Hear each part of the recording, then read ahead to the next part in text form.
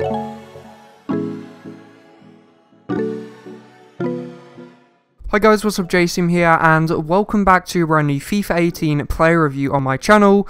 So in today's video guys, I'm going to be reviewing 96 rated Man of the Match Ronaldo. So in the 51 matches I did play with this card and his 95 rated card, I managed to score 20 goals and get 5 assists. As you can see, he's got the 4 star weak foot, the 5 star skill moves, he's got the high low work rates, and he is 6 foot tall. And looking at the cards, he's got some absolutely insane stats, such as the pace, dribbling, and the shooting. Also the physical is pretty decent at 81. So looking at the pace set now, he's got 89 acceleration and 91 sprint speed. He's got really good finishing at 96, along with really good long shots at 91.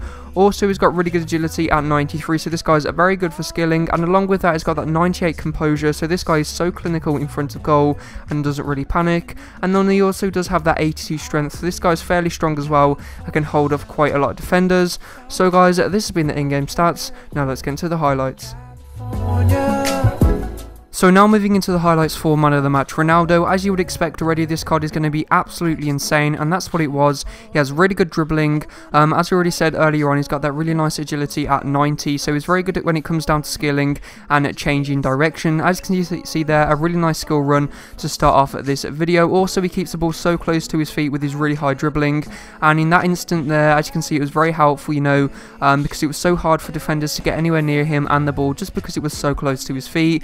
The next pro and probably the biggest pro with this card, and that was his finishing. This guy can literally finish from anywhere, especially inside the box. He's going to be finishing those chances 10 out of 10 times. Just as a really nice Elastico chop, two heel to heel, two roulette, and then finish it off very nicely with the low driven shot. And that's what I'd recommend to do when you're inside the box. Take the low driven shot just because this guy's low driven shots are so good.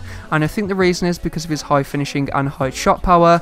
And then the final pro I could find this card was his strength. Now this guy is absolutely one of the strongest players on FIFA 18, even though um, he only has 82 strength, feels so much stronger. Um, I didn't have any attribute cards or anything on this card, but I just don't know what it was about him, his whole physique and just the way he looks, you know, the whole um, body model of Ronaldo on FIFA. He just makes him so much stronger than he um, actually, you know, the stats would suggest. Um, also, as you can see there, he is right-footed. He does have a 4-star weak foot as well, so he can sort of finish on that left foot.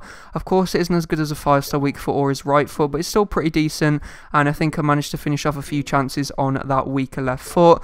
So overall, this card is very, very good as you would expect. I'm hoping he does get a few more upgrades as well. Um, yesterday, he missed the chance to score another goal. Um, I think he missed a penalty. I can't remember who they were playing, but um, I think it was Iran actually, um, but you missed a penalty against them, so maybe you could have got an upgrade yesterday if you would have scored that penalty. But anyway, guys, this has been the highlights. Now let's get into the overview. So moving on into the overview for man of the match Ronaldo, the first thing I'm going to rate him on is enjoyment, and I decided to give him a 9 out of 10 when it comes down to enjoyment. Competitiveness wise, I'm going to give him a 9.5 out of 10. This card was just so so good, and definitely one of the best cards on a FIFA, especially if you do like to play competitively. And also I'm going to give him a 9.5 out of 10 when it comes down to skilling, so this guy's also very good at skilling, as well as playing you know, as a competitive team. And then I'm going to give him an overall rating of a 9.5 out of 10. So guys, if you have enjoyed this player review and want to see more FIFA 18 player reviews on my channel, don't forget to leave a like on the video and subscribe. Thanks for watching and see you next time. My shit in order. Open up your body and explore, yeah Swear I never felt this way before. I just can't sit back and ignore this. Falling for the sunset, yeah